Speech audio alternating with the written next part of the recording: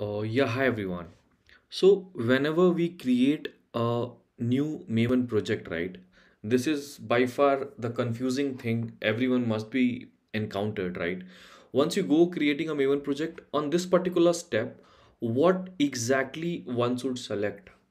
You have a combination of group ID and artifacts, right? Under this template, what one should go for selecting?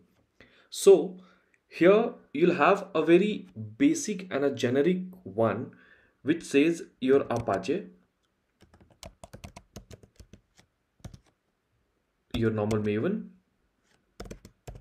and you'll get something as quick start.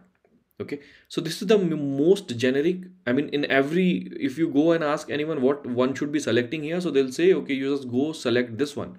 But what exactly it is? So I would be again saying this is something which is more generic. One one can use if you are an automation tester and want to do some automation. So this is sufficient. At the same time if someone is using say bdd or cucumber. Okay. So here if you'll see so likewise for cucumber you will be getting different different options. But for now we are looking only for a generic one. So same way we'll say apache normal maven. And your this quick start. And we'll go on to next. Yeah just for your understanding you can give simple maven group id and say let me write the month. Currently it is jan same way artifact id i will write maven.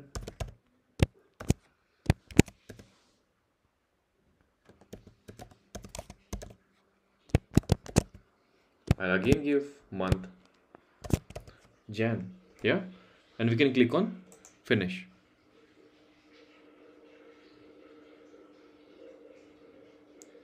So this way we have created our maven project. Yeah? Thank you